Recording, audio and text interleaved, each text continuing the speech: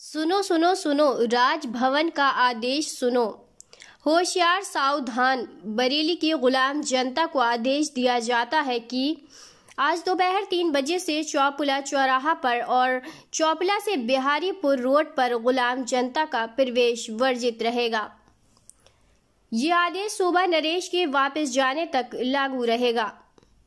चौकी नहीं, ये मुनादी दरबारी अखबारों में सुबह ही करा दी गई थी।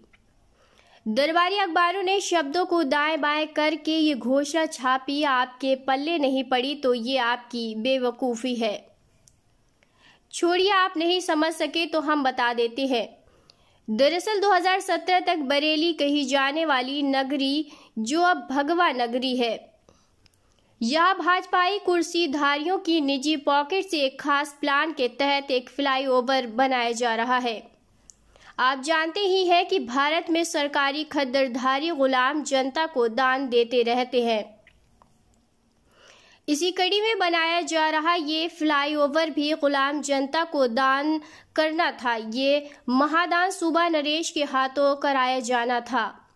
इसके लिए सूबा नरेश को पधारना था। इसलिए महाराज अधिराज के रास्ते पर गुलाम प्रजा को कदम रखने की इजाज़त नहीं थी।